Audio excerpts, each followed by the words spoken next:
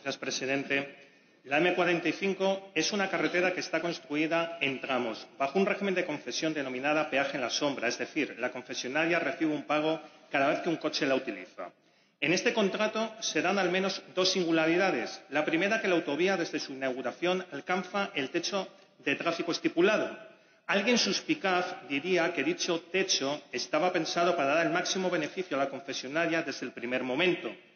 La segunda, que las tarifas y el importe del pago máximo están indexadas a inflación, mucho más caro que la concesión de un crédito por cualquier banco. La autovía M45 se ha convertido en un lastre económico para la región. El sistema para su construcción y gestión ha sido desastroso, siendo generosos. Errores en el cálculo del valor de las expropiaciones, mala redacción de los contratos, pago de costas e intereses de demora. Todo esto va a suponer un coste final de la M45 de más de 2.000 millones de euros. Un ejemplo más del concepto de equidad que tiene el Partido Popular, en el que algunos se hacen ricos a costa de todos los madrileños.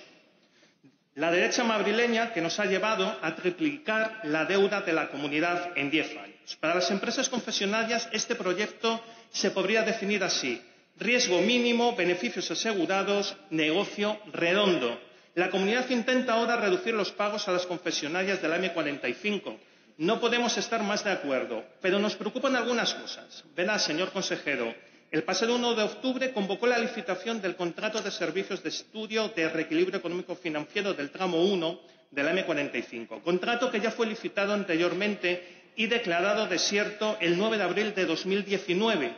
Comparando los dos pliegos de prescripciones técnicas, advertimos diferencias que no van a nuestro juicio precisamente en beneficio de la Administración en el nuevo se elimina el mínimo de experiencia profesional de cinco años del jefe de estudio. También los tres años mínimos para el profesional licenciado en Derecho. Eso sí, el nuevo pliego se incluye, en el nuevo pliego se incluye esta vez como elemento a tener en cuenta las alegaciones y recursos que presenta la sociedad confesional al respecto. Curioso.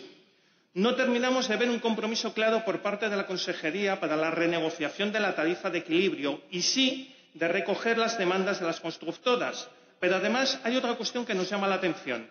El 30 de enero de 2018, en respuesta a una pregunta escrita, la Dirección General de Carreteras dice que ya está realizando los estudios pertinentes para determinar en qué medida y en qué términos las incidencias de explotación de la concesión pueden afectar en su equilibrio económico financiero.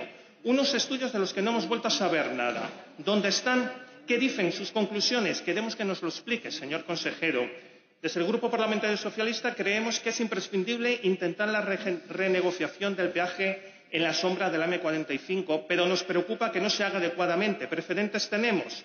Hagan un esfuerzo, señor consejero, y defiendan los intereses de los madrileños y madrileñas. Gracias, Vinagre. Señor Garrido.